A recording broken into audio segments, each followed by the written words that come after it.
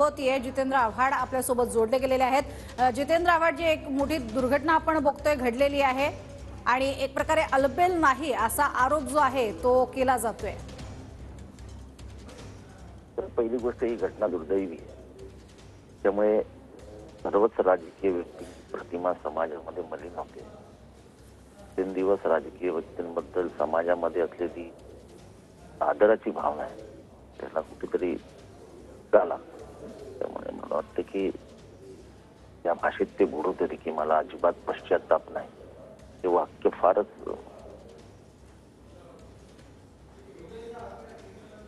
ते मजुरी म्हणजे काय बोलावं शब्दच नाही माझ्या ते ते राजकारणाचं राजकारणाचं क्रिमिनलायझेशन ऑफ पॉलिटिक्स जे होत चाललंय आणि एक दुसऱ्या विरुद्ध सुडाचं जे राजकारण पेटवलं जात आहे त्याचे हे परिणाम आहेत. आणि राजकारणाची दिशा बदलत चालली आहे. राजकारणाची दशा होत चालली आहे. हे- हे पस्तीस वर्ष राजकारण बघणाऱ्या माझ्यासारख्या ही राजकीय अभ्यासक आहे मला वाटतं हे फार दुर्दैवी आहे. आणि समाजाला परवडणारं नाही. समाजाने आता ह्याच्या पुढे निवड करताना आपला प्रतिनिधी कोण असावा? याचा जरूर विचार करावा. याचा ही राजकीय व्यवस्था थोडीच स्नेल आणि आपल्या स्वातंत्र्य विनांनी आपल्याकडे दिलेलं स्वातंत्र्य त्यांच्या हातातलं खेळ जितेंद्र आव्हाडजी तुमच्या जवळचा हा परिसर आहे आणि जे आरोप करण्यात आलेले आहेत गणपत गायकवाडांकडनं त्यामध्ये मुख्यमंत्र्यांचा त्यांच्या मुलाचा उल्लेख करण्यात आलाय आणि ह्या सगळ्या संदर्भात मी वारंवार फडणवीसांना सांगितलं होतं असंही त्यांनी म्हटलंय.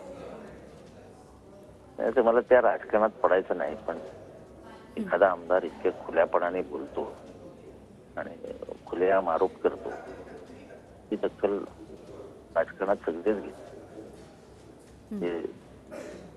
रागात असला गणपत कधी तो ज्या पद्धतीने आरोप करतो ते महाराष्ट्राला विचार करण्यासारखी परिस्थिती कुठपत कुठपत खालवत. म्हणजे कोणाच्याच जीवाची शाश्वती नाही.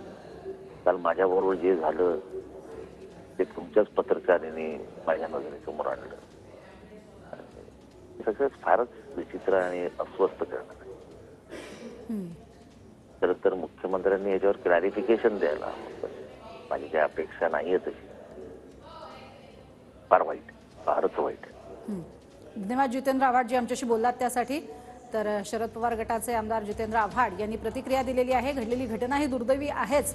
पण त्याबरोबरीनं आता कोणाच्याही जीवाची शाश्वती राहिलेली नाहीये. सर्वसामान्य नागरिकांनी मतदान करताना लक्षात ठेवावं की आपण कोणाला नेमकं मत देत आहोत असंही त्यांनी म्हटलंय. नेमकी घटना काय घडली होती कशी घडली होती तेही पाहूयात.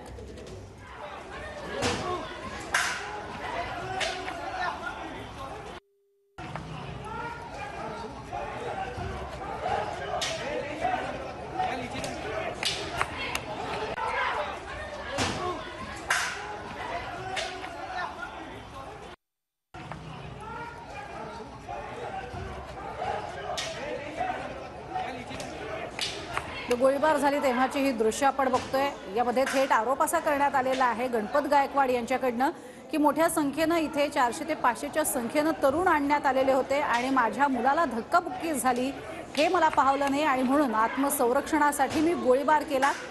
यामध्ये मला कोणताही पश्चाताप नाही. माझ्या डोळ्यादेखत जर माझ्या मुलाला धक्का लावला जात असेल तर माझा जगून काय फायदा? असं म्हणत त्यांनी हा गोळीबार केला असंही सांगितलेलं आहे.